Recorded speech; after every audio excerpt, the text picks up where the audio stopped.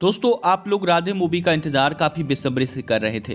वहीं दोस्तों राधे मूवी को लेकर आप लोग जानते होंगे कि इसे फ़िलहाल पोस्टपोन कर दिया गया है। इसका कारण आप लोग जानते हैं कि आ, इन दिनों हमारे देश में जिस तरह की महामारी फैली है जिस तरह का संक्रमण फैला हुआ है इसको रोकने के लिए तरह तरह के उपाय किए जा रहे हैं जिसमें स्कूल कॉलेज और जितने भी ऑफ़िस हैं इंडस्ट्रीज़ हैं सभी को बंद कर दिया गया है यानी कि पूरी तरह से लॉकडाउन कर दिया गया है। बात कर ली जाए तो राधे मूवी की जो शूटिंग हुई थी वो कहाँ तक कंप्लीट हुई थी? जिसको लेकर और क्या क्या बाकी थी उन चीज़ों को लेकर तराना दर्श ने भी कुछ ट्वीट किया है। जहाँ बता दें कि सलमान खान और दिशा पाटनी की फ़िल्म ये पूरी तरह से कंप्लीट नहीं हुई है।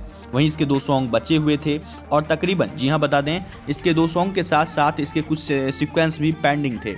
यहाँ बता दें कि सलमान खान की इस फ़िल्म के दो सॉन्ग शूट नहीं हुए, इसके कुछ सीक्वेंस भी पेंडिंग हो रहे, इसके डबिंग का काम बचा हुआ था, इसके बी का काम बचा हुआ था, साथ ही पोस्ट प्रोडक्शन वर्क भी बचा हुआ था। तो दोस्तों, इस तरह से ये सारे काम पेंडिंग थे। तो दोस्तों, इस तरह का सिचुएशन बना हुआ नज़र आ रहा है, और ऐसे में लगता है कि फ़िलहाल ये फ़िल्म रिलीज़ कर हो पाना काफ़ी मुश्किल है। वैसे आप लोग जानते होंगे कि इन दिनों सोशल मीडिया पे तरह तरह की खबरें निकल के आ रही है कि इस फ़िल्म को ऑनलाइन रिलीज़ किया जा सकता है या इस फ़िल्म को इस तरह रिलीज़ किया जा सकता है। बहुत सारी की, बहुत सारी तरह की खबरें निकल के आ रही है। लेकिन दोस्तों, अभी कहना मुश्किल है, लेकिन ऑफिशियली खबर निकल के आई है कि अब अभी भी इस फ़िल्म के तकरीबन दो सॉन्ग्स बचे हुए हैं। इस फ़िल्म के सीक्वेंस बचे हुए हैं। इसके डबिंग का काम बचा हुआ है। इसके पोस्ट प्रोडक्शन वर्क्स बचे हुए हैं।